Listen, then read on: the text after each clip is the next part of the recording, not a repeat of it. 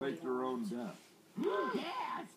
We found Connie an hour ago at a motel outside of town. Turns out she put a pig in a blonde wig behind the wheel of her car.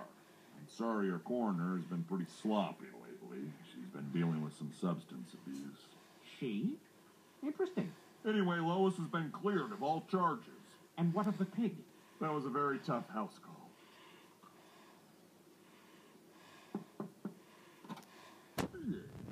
Excuse me, you have a daughter named Peppa. Yes. You're gonna want to sit down.